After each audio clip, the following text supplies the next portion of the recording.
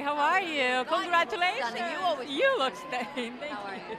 Tell me about being here tonight again for Transparent. I'm just so thrilled. I'm thrilled that I'm nominated. I'm thrilled Jeffrey's nominated. I'm thrilled the show is nominated. It's just so, I'm so grateful. And nowadays, people like talk more openly about uh, transgender.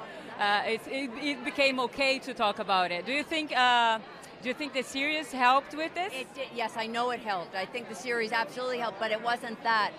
It's that it isn't just okay to talk about it, it's essential to talk about it.